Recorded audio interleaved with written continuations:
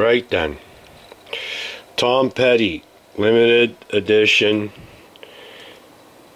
And I said I wasn't gonna, but this came to me before I said it. This is Chinese. And it don't play very good at all. Uh, first fret string action is ridiculous. String action overall is ridiculous. And I'll bet that's just the way to hide all that shitty fretwork. What do you guys think? I'm going to tune it up and just uh, see what the hell's going on with it. Okay, well, we're sort of tuned up.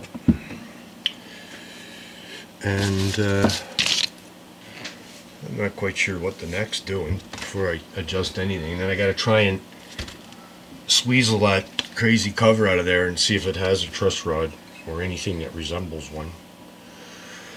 So when we have a look, see the, the neck, it's probably okay. Like it's probably maybe a little too straight, but on a guitar like this, I'm just I'm just double checking that this isn't another twister. No, it looks pretty good, and I don't see any really seriously lumpy frets, but we're going to find out. String action should be smokingly high. And I will measure this at the 12th fret. So we're sitting at 664s. It should be just above 4. Right? Yeah, so we want to drop that down first and see what happens. And then we'll retune it, obviously. And uh, that's a lot, a lot of fun. That seems to be somewhere in the realms of reality now. Yeah. I would even...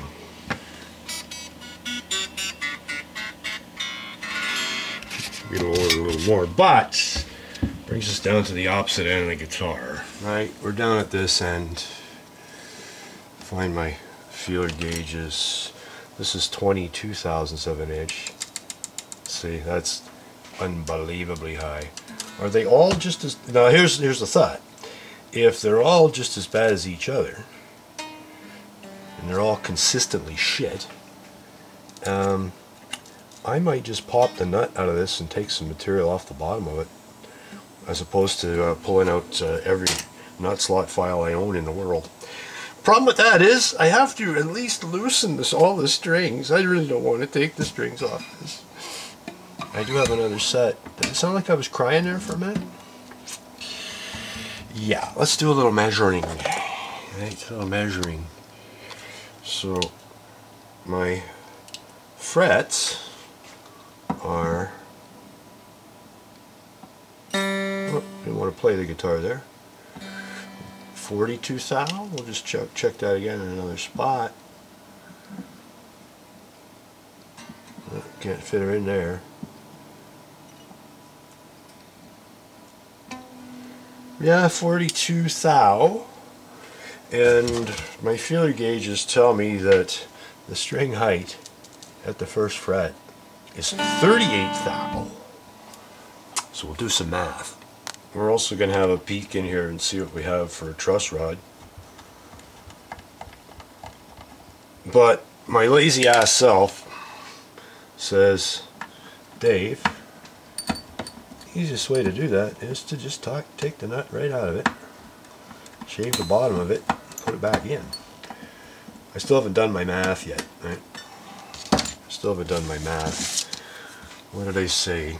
I measure those fret height one more time just because a couple of thousandths of an inch can really ruin your day.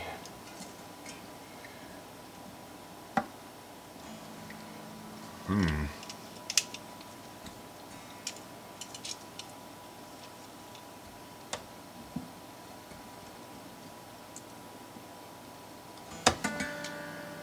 Okay. I have another tool for that too.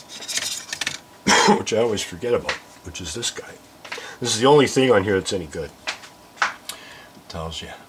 So that's... Where are we here? I gotta stop for a second here. So the way this guy works, it's got little numbers and a notch. And when the notch slips over the fret and the other two sides just touch the fingerboard, that will tell you what it is. So this is telling me 45. The calipers are saying 42. So, you know, I'm going to roll with that. So back to this mathematical equation again. Okay, 38 thou. By. I might really regret knocking this out of there. Hmm. Nope. There we go. Eh, took a little paint with it. Oh, a little bit of wood. See, look at, uh, there's how much glue they used. Anyway, I'm going to be grinding the bottom of this anyhow. So, square that up a little bit with the proper file. Yeah, boys. Needed more glue. More glue was required. And on the wrong part, too, right? The glue goes there, not on the bottom. Alrighty, let me shave this down. Maybe this thing will actually work. So what I want to do is I want to take that much off the bottom. That's a little difficult to measure. But if I take that feeler gauge and I take that feeler gauge and keep it from slipping down behind and find my super duper fine pencil, I can make a line that's going to guide me something like that. Definitely easier than uh, recutting every nut slot. Uh, let's test fit it and see how I did. What really blows about this is that, you know, every test fit I have to retune the entire guitar because there's so much string tension that when you loosen all the strings, this thing just goes rink, rink, rink. So retuning.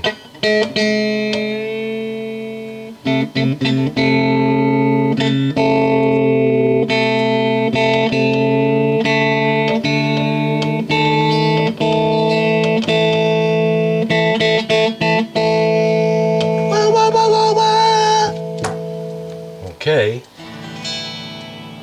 Let's just look at the neck straightness again one more time before I try and put that crazy truss rod cover back on, which actually interferes with the string passage.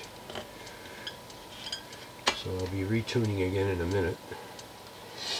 Unreal. Like I said, it came in under the wire. This will be the last of it. Believe me. Yeah, I wouldn't touch that.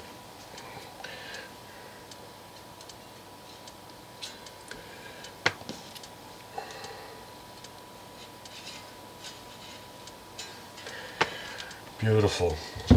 Double check the string height again. And then I will promise you I will check the intonation. it looks it looks like intonation, so we're probably pretty close. Where are we now? String height could pop up a little bit on the bass side and drop down a little bit on the treble side. So here we are, and then the back one locks it in place. So.